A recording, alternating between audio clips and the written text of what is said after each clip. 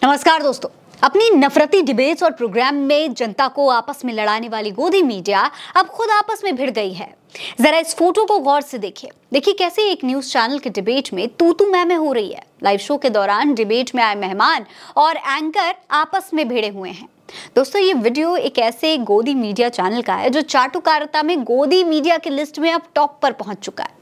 यह scene senior anchor Navika Kumar के debate show का है। यहाँ पर नविका कुमार के साथ वरिष्ठ पत्रकार आशुतोष, आनंद रंगनाथन और बीजेपी प्रवक्ता राधिका खेड़ा, जो पहले कांग्रेस में प्रवक्ता थी, अब बीजेपी में शामिल हो गई हैं, वो भी यहाँ पर मौजूद थी। दरअसल टाइम्स नाउ पर खतरे में लोकतंत्र को लेकर एक बहस चल रही थी, लेकिन यहाँ पर एक दूसरे की इज़्ज़त, एक दूसरे का गिरेबान ही खतरे में आ गया। बहस के दौरान सीनियर जर्नलिस्ट आशुतोष और ए रंगनाथन अगल बगल खड़े हुए थे। यानी दोनों एक दूसरे के साथ में ही खड़े हुए थे लगभग। तभी थोड़ी सी गहमा गहमी के बीच में रंगनाथन आशुतोष को लेकर सड़क छाप कहने लग गए, जिसके बाद रंगनाथन के शब्द पर आशुतोष ने भी काफ़ी तगड़ी तरीके से जवाब दे दिया। आशुतोष बताते हैं कि ये लोग पूरी डिबेट में लगातार उनको टारगेट करने की कोशिश कर रहे थे। लेकिन इसके बाद भी रंगनाथन लगातार आशुतोष को जाहिल I am not your dad आजा आजा, जैसे शब्द बोल बोलकर बोल बोलकर उनको उकसाने की कोशिश करते रहे और एक दूसरे में भिड़े रहे। मतलब दोस्तों लाइव शो में लगातार रंगनाथन आशुतोष को बुरा भला कहते रहे, उनको उकसाते रहे।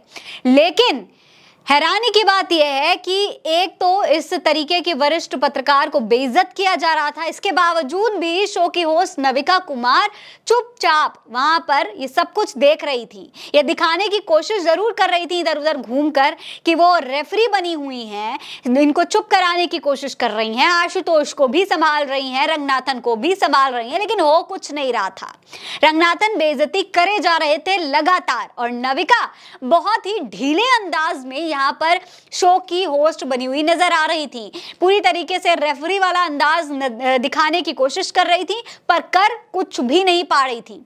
सबसे बड़ी बात तो यह है दोस्तों कि ये पूरी लड़ाई रिकॉर्ड हो रही थी और बाद में इसी लड़ाई वाले पार्ट को प्रोमो बना करके ये लिखा गया कि पूरा शो शाम सात बजकर पचपन मिनट पर देखें। सोचिए दोस्तों, ये स्थिति है गोदी मीडिया की। गोदी मीडिया अपने शो में वरिष्ठ पत्रकार की बेजती कर रहा है और फिर उसे मसाला बनाकर टीआरपी लेने की पूरी कोशिश में लगा हुआ है।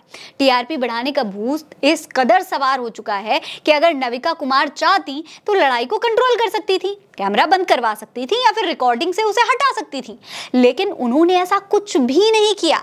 उल्टा उसी पार्ट को, यानी लड़ाई वाले पार्ट को पूरी तरीके से फ्रेम बना करके उसे अपना प्रोमो बना दिया और उसी लड़ाई से जनता को अपना शो दिखाने के लिए बुलाने लगे। सोचिए दोस्तों टीआरपी की गोदी मीडिया को इस कदर भूख है कि जो पत्रकारिता की मर्यादा होती है, जो एथिक्स होती हैं, वो भी ये बड़े मेन स्ट्रीम मीडिया भूल चुका है। चाटुकारिता के चक्कर में, टीआरपी की भूख में ये सब कुछ भूल चुके हैं। अब दोस्तों, इस लड़ाई पर जनता क्या कह रही है, वो भी हम आपको बता देते हैं।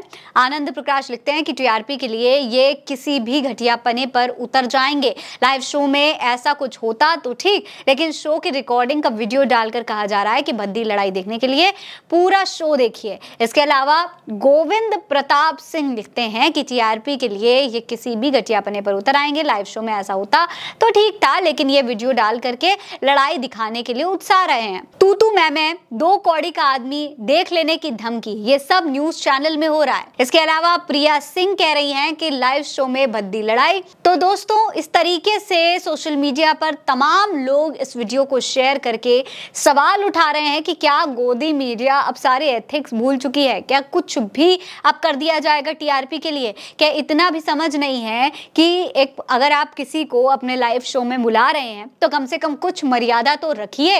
और अगर मर्यादा रख नहीं सकते, इस तरीके की लड़ाई होती भी है तो गोदी मीडिया को यह समझना चाहिए कि इसे इस तरीके से मसाला बनाकर जनता के सामने ना परोसा जाए। जनता के बीच में जहर पहले से ही गोदी मीडिया इतना घोल चुकी है कि अब ये और जहर और नफरत फैलाने से ये समाज में और निगेटिविटी फैलाने की कोशिश कर रहे हैं। इस पर आपकी क्या राय है? मैं कमेंट सेक्शन में लिखकर ज़रूर बताइएगा। ये खबर आप उल्टा चश्मा यूसी पर देख रहे हैं। नमस्कार।